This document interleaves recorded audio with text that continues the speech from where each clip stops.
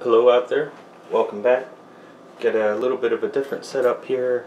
I think I get everything set up so the table's not going to wobble a lot, but uh, where I would normally do a video is uh, occupied with stuff. We got some work going on in my house here. So, alright, uh, what we're looking at today is a subject that keeps coming up. Is, uh, is it safe to leave batteries in a car in heat?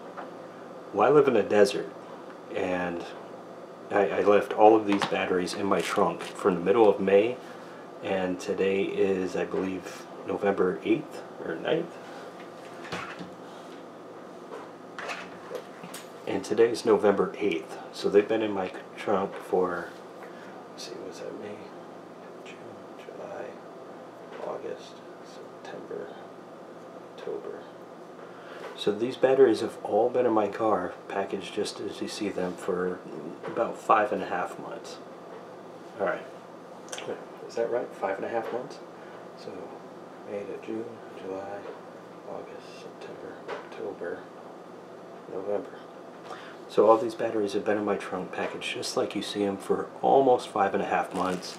And during the summer, even though summer is uh, over now, during the summer it's over 100 almost every single day here. So for at least three of those months they were exposed to over 100 degree temperatures nearly daily. There was probably a couple days where it didn't hit 100, uh, but that would have been because of rain or something like that. So I don't have a regular plain battery tester, but what I do have is a multimeter with a battery test function here so you can see there's no 3.7 volt to test uh, lithium ion batteries, uh, 14500s and that, but there, these other settings will work, it just won't function this part correctly. So let's go ahead, oh, I really screwed that up. So you can see there's no 3.7 volt for accurately testing uh, lithium ion batteries, but these other ones will still work. What I'm looking at is I just want to, to read out the actual volts that's left in the battery. Uh, it just won't function the lights right is all. But uh, alright, so let's get into this. First up here we have a Streamlight CR123 battery. First up here we have a Surefire 123A. Alright, so this is plain lithium. It's labeled 3 volts for high drain devices. Surefire.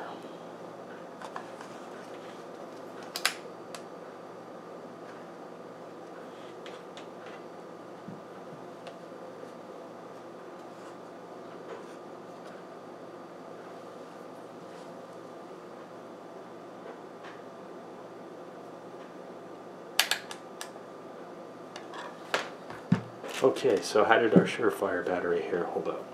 Alright, so we got our probes. Again, this is just a multimeter. I don't have a regular one.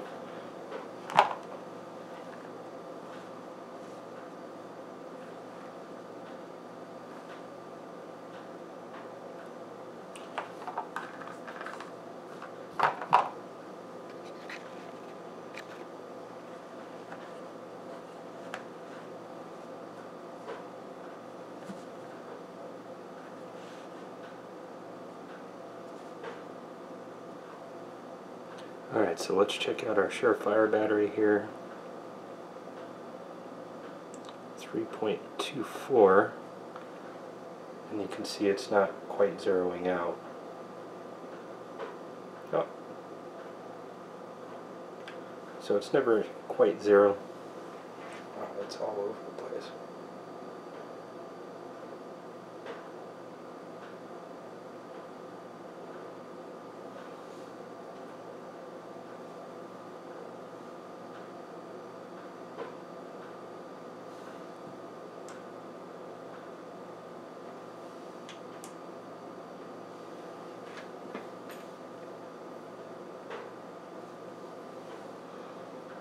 So checking out our Surefire battery here. Got 3.24 and I just tested a minute ago and it was 3.24. 3.24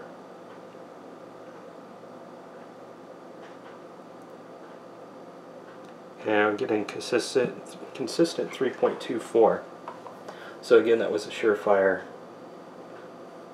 Again, that was a Surefire. Focus. Surefire lithium CR123A battery. Uh, are the size that a lot of uh, tactical flashlight uses. Tactical flashlights use, and some lights will allow you to use two of these in place of an 18650 battery. And uh, you can commonly found at uh, sporting goods stores and gun stores. Uh, if you have a camera shop, they might have these. Some cameras use these, but I haven't played with cameras in a long time, regular cameras. The ones that I saw use the shorter ones. I don't even remember what those ones are called. They're almost the same width as this, but they're a little bit shorter. Um, that's where you can find those. Now we've got a got a 14500 battery here. This is a Fenix protected battery, 800 milliamp hour battery. So 14500. They say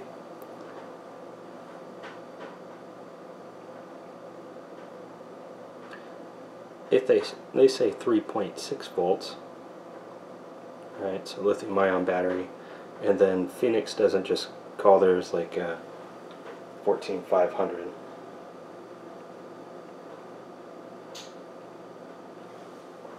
Fenix doesn't call theirs just 14500 Fenix doesn't call theirs just 14500 that's their designation for this battery that ARB L14800 that's what they label it as so 3.6 and lithium ion batteries sometimes do lose a little bit of charge over time when they're being set. Uh, when they're just setting around they will sometimes lose a little bit of a charge. But 4.02 okay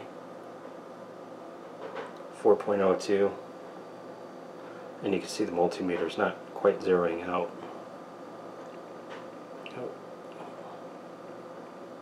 but we're getting consistent 4.02. So I do have another way to test this one. I've got a flashlight with a built-in multimeter. This is a Nitecore MT10A.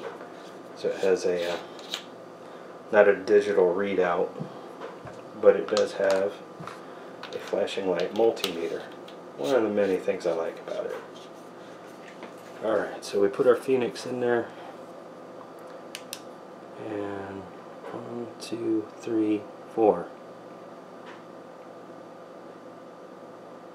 Alright, so multimeter says 4.02 and the flashlight says 4 so 4 blinks like that is 4 if it would.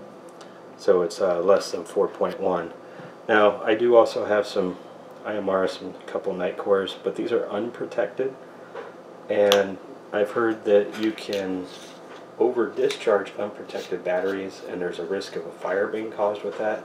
I don't know if that would happen if it just drained on its own over time, but because I don't know enough to know whether or not that for sure could happen, I didn't want to take the risk, so I did not test any unprotected lithium ion batteries. Uh, Fenix battery held up really well there, and again that's a lithium ion. That's one of the types that people are very concerned with many times. Next we've got one of my old Eneloop Pros here. Alright, and they rate theirs.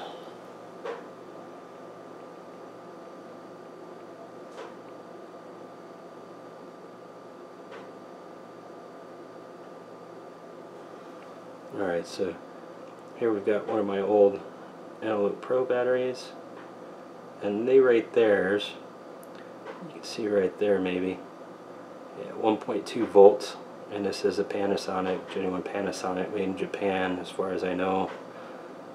Uh, these are pretty good batteries. I've been really happy with these, using them for, uh, uh, what do you call it, the, some of my AA flashlights.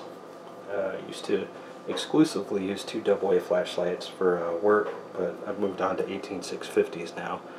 So it should be around 1.2, uh, 1.275 Okay. It's 1.275. And we'll test this one out and my little flashlight here just so we got a secondary reader. It's kind of handy.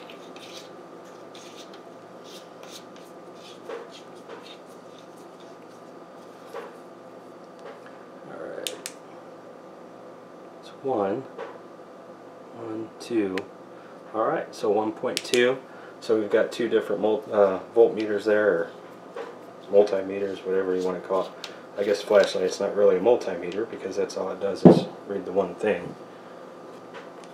And last, we have an Energizer lithium AA size battery.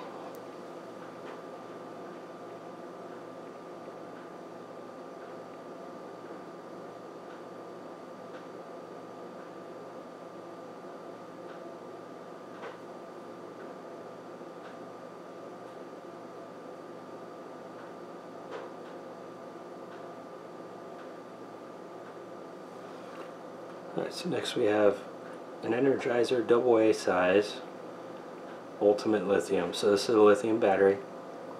And you can see here, it says they right there is at, so shiny, 1.5 volts. You can see it down here. So let's go ahead and test this guy out here.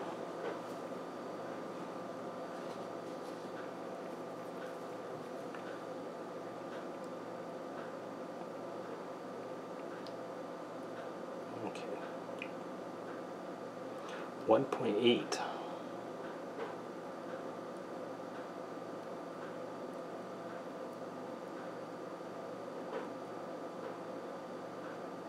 One point eight.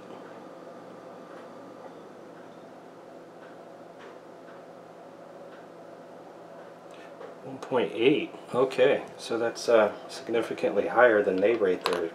They say their batteries are at. So we'll go for a backup here. MT2A, MT10A. One, two, three, six, seven, eight. Alright, so it looks like this is indeed 1.8 volts. Okay, so this IMR, that one I usually just keep in there. Uh, so a lot of people wonder, is it safe to leave batteries in your car in the summer? Will they explode? Well, notice I don't have any alkalines. None of these were alkaline batteries. This nickel metal hydride. Alright, so none of these are alkaline. We all know those aren't safe because they can leak and uh, if they leak they basically destroy whatever they're inside of. So if it's a flashlight, uh, you know, MP3 player or you know somebody's still got a Walkman hanging out somewhere it's going to destroy that product whatever it is. Uh, is it safe to leave these battery types in here? Lithium ion lithium nickel metal hydride ultimate lithium is it actually safe? I don't know that it's safe. I did it just as an experiment and uh, you'll notice the lithium ion was packaged in its own container uh, and the other batteries from what I've heard from other people uh, generally they will leave lithium batteries in their in their car if they want to leave something and not worry about it and it seems like that's probably true and but all of these are known to be decent quality batteries. These are not the bottom of the line. So if you're going to do it, going to do it, if you're going to leave batteries in your car for an entire desert summer, go with something that has a good reputation. Uh, not everybody likes Fenix batteries, but a lot of people seem to. In my reading, I haven't seen anything that is down on the Eneloop Pros for nickel metal hydrides or Eneloops at all and Surefire is uh, seems to be for the 123A seems to be a pretty respected brand and Energizer for your regular ones. Uh, if you go into an REI or something, you're probably going to see Energizers at least one of the offerings uh, for uh, for their lithium-ion batteries. And the people that shop in REI, with the exception of myself, uh, they they uh, depend on their gear. You know, they're out doing their mountain biking or camping or rock climbing, you know, people that are hanging hammocks off the side of a rock face and sleeping there for the whole night. You know, the, these people depend on their gear, including their batteries there.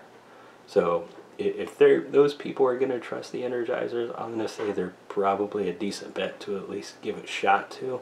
I've used them before these double A's in an uh, old camera I had that took double A batteries. And the Ultimate Lithiums, even using them a lot when they started getting a little bit warm from use, uh, they did hold up really well. Uh, the Surefires I haven't put to hard use in a light where they're heating up and constant off and on, but I have used them in lights and lasers that were mounted on a gun, and they seem to work really well. Uh, there was also, uh, was it Viridian? That's one of the companies that makes lasers for uh, handguns.